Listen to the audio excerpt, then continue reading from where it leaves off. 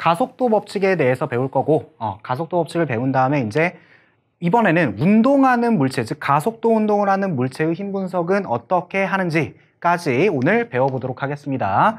자, 필수 개념 2 해서 가속도 법칙 몇 법칙이라고? 뉴턴 운동 2법칙입니다. 자, 가속도 법칙 볼까요?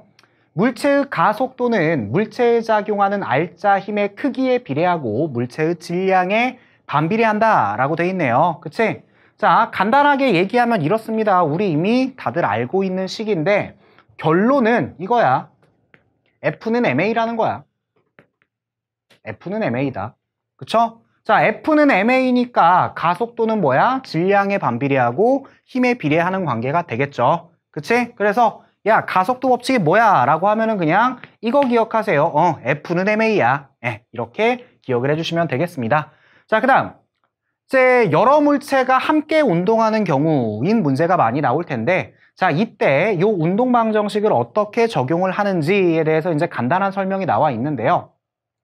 자, 함께 운동하는 물체들의 질량을 더한 후에, 그죠? 그 물체들에 작용하는 외력을 더해서, 어, 한 물체처럼 생각을 한 다음에 가속도를 구하자라고 돼 있죠. 그치? 자, 이게 어떤 의미인지 바로 다음 슬라이드에서 한번 보겠습니다.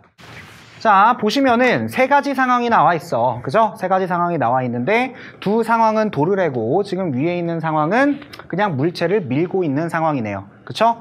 자, 도르래에 관해서는 다음 강에서 내가 한꺼번에 정리를 할 겁니다. 어, 한꺼번에 정리를 할 거고요. 상황 원에 대해서 조금 여기서 디테일하게 볼게요.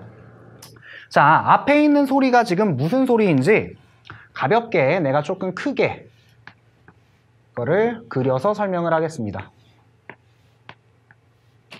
어, 이런 상황을 내가 한번 상정을 해볼게요. 자, 얘가 1kg짜리 물체고 얘가 2kg짜리 물체야. 근데 마찰이 없는 수평면에서 내가 여기다가 3N의 힘을 주게 될 겁니다. 자, 이때 무슨 일이 벌어지는지 한번 생각을 해볼게요. 일단은 내가 3N으로 지금 밀고 있잖아. 누굴 밀고 있어? 뭐 얘를 A라고 하고 얘를 B라고 하면은 A를 밀고 있어. 하지만 이 힘은 A와 B가 같이 받고 있죠. 왜? A랑 B는 같이 움직일 거거든. 맞죠? 자, 그러면 운동방 정식 F는 MA에서 자, 지금 이 물체 둘이서 받고 있는 힘의 총합은 얼마야? 3N이거든? 그쵸? 근데 이 3N이라는 힘을 가지고 누가 A랑 B, 1kg짜리 A와 2kg짜리 B가 같이 움직이고 있어. 그지? 그러니까 전체 3kg이 A라는 가속도로 움직이고 있는 거야. A 얼마가 돼야 돼? 1m/s 제곱이 돼야 되는 겁니다. 이해되시죠? 그지? 자, 아, 얘네들의 가속도는 1m/s구나 라고 생각을 해주시면 되는 겁니다. 자, 가속도가 나왔죠? 자, 가속도가 나왔는데 자, 이 다음 과정이 사실은 중요합니다. 문제를 풀기 위해서는. 이 다음에 여러분이 또 해야 될 게 있어. 뭐? 각각의 물체마다 힘 분석을 해주시는 게 또 중요합니다. 자, 그래서 아까 뭐 1, 2, 3 해가지고 이렇게 가속도를 구한다라고 돼 있는데 4.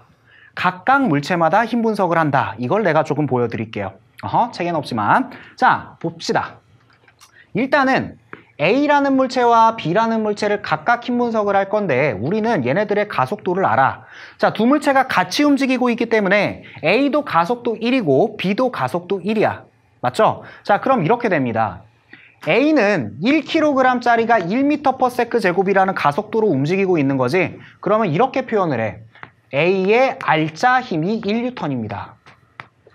F는 MA라며 1kg짜리가 1m/s로 움직이고 있는 거잖아. 그쵸? 그래서 이거는 A의 알짜 힘이 1N이다 라고 표현을 한다라고. 이해되셨죠? 그 다음에 B. 역시 2kg짜리가 1m/s 제곱의 가속도로 움직이고 있지? 이거 어떻게 표현하겠어? B의 알짜 힘이 2N입니다. 2kg 곱하기 1m/s 제곱. 자, 이렇게 표현을 할 수가 있는 거야. 자, 그러면은 각 물체마다의 알짜 힘이 나왔네요. 그쵸? 자, 알짜 힘이 나왔는데 이번에는 그러면은 도대체가 B의, B의 알짜 힘인 2N이 어디서 나왔는지 한번 생각을 해볼게. 어디서 나왔을까? B 무슨 힘 받고 있니 지금? A가 B를 밀어주고 있는 거 아니야? B만 봤을 때는 결국? 그치? 어, B는 무슨 힘을 받고 있구나? A가 B를 밀어주는 힘을 받고 있구나. 이렇게 표현 한번 해볼까요? A가 B를 밀어주는 힘. 자, 이렇게 표현을 한번 해볼게. 그 다음에 어, 또 있어 뭐? B가 지금 앞으로 이거 받고 뭐 뒤로 받는 힘이 있습니까? 아무것도 없어. 그치? 이 힘 하나 받고 있는 거거든? 근데 알자 힘이 2뉴턴이래. 알자 힘이 뭐라고? 모든 힘의 합. B가 받고 있는 힘은 이거밖에 없으니 이게 뭐겠구나? 2뉴턴이겠구나. 즉, 아, A가 B를 미는 힘은 2뉴턴이구나 라고 생각을 해주시면 되는 겁니다. 아시겠죠? 자, 그 다음 A가 받는 힘을 한번 분석을 해볼게요. A가 받는 힘은 일단은 앞으로 3뉴턴을 받고 있어. 내가 A를 밀고 있는 거잖아. 그치? 앞으로 3뉴턴 받고 있는데 문제는 뭐야? A의 알자 힘은 1뉴턴이거든? 도대체가 이 3뉴턴에서 어디서 까인 걸까를 생각을 해보면 A가 B를 밀고 있죠. 그치? A가 B를 밀면 자동으로 어떻게 된다고? B는 A를 밀게 돼. 뭐? 작용 반작용. 그죠? 자, 그러니까 A는 내가 3뉴턴으로 A를 밀고 있지만은 B도 A를 뭐야? 뒤쪽으로 2뉴턴으로 밀고 있구나. 작용 반작용이니까 크기가 같고 방향이 반대겠죠? 자, 그러면은 A 같은 경우는 뒤로 2뉴턴 받고 앞으로 3뉴턴 받으니까 뭐다? 아, 알자 힘이 앞으로 1뉴턴이 되겠구나. 이렇게 해석을 해주시면 되는 겁니다. 아시겠죠? 자, 이게 이제 뭐다? 첫 번째 상황에 대한 힘 분석이구나 라고 생각을 하시면 되겠습니다. 자, 아래에 있는 도르래 같은 경우는 가볍게만 한번 볼게요. 도르래 파트에서 내가 조금 더 정확하게 할 건데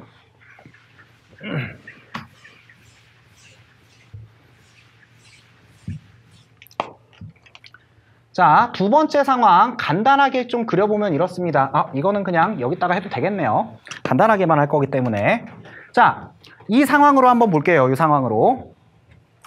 어, 일단은 운동하는 물체 같은 경우는 운동 방향에 대해서만 우리가 힘 분석을 해주시면 됩니다. 운동 방향에 대해서만 힘 분석을 해주시면 되는데 자, 아래쪽으로 지금 뭐다? MAG, 즉 중력 받고 있죠. 그치?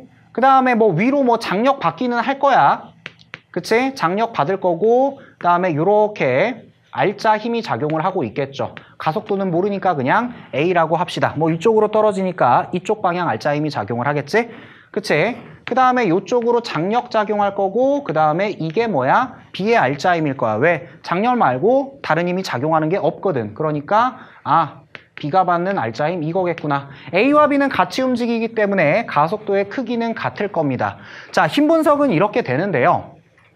힘 분석은 이렇게 되는데 앞에서 뭐라 그랬냐면은 자 외력을 고려하자라 그랬거든 그치? 자 그럼 봐봐 이 장력 같은 경우는 실은 지금 A와 B가 같이 움직이고 있는 거잖아 내부에서 작용하는 이미지 외력이라고 보기는 힘듭니다 그쵸? 그러면 여기서 외력이 뭐가 있습니까? 라고 하면은 지금 뭐야? A가 받는 중력 요놈아밖에 없다라고 A가 받는 중력 그치? 자, 그러면 이거를, 이 상황을 이렇게도 생각을 할 수 있어. 뭐 나는 이렇게 표현을 하는데, 펼쳐서 합쳐보자 라고 표현을 하는데, 자, 펼쳐서 합쳐버리면 어떻게 돼? 자, A랑 B가 이렇게 합쳐져 버리는 거야. 자, 합쳐지는 순간 뭐 장력은 어차피 사라집니다. 어차피 뭐 외력도 아니고. 그치? 자, 어, 잠깐 순서가 반대로 됐네요. 그치? 자, 이렇게 펼쳐서 합치게 되면은 자, A랑 B가 이렇게 합쳐지게 될 거야. 그치? 근데 외력 뭐밖에 없다고? 이쪽으로 받고 있는 A의 중력밖에 없다라고. 맞지? 자, 그러면 이쪽으로 받고 있는 A의 중력밖에 없으니까 A와 B에 작용하는 알짜 힘은 뭐야? MA 곱하기 G가 될 거야. 그치? MA 곱하기 G가 될 건데 이 힘으로, 이 힘으로 지금 뭐다? A라는 애와 B라는 애가 둘 다 같이 움직이고 있는 거야. 맞지? 이 크기의 힘으로 A 질량, B 질량이 같이 움직이고 있는 거라고. 그치? 같이 움직이면서 가속도 운동을 하겠네요. 맞지? 그러면 이런 식이 성립을 하겠네. 맞죠? 여기 나온 식. 즉, 가속도가 얼마가 나오겠다? 어, MA 플러스 MB 분의 뭐다? MAG겠구나. 이런 식을 알 수가 있겠네요. 그치? 자, 도를 해서 확실하게 할 거고요. 얘도 그냥 간단하게 한번 볼게요. 자, 보니까 얘도 그냥 바로 펼쳐서 한번 합쳐봅시다. 오케이?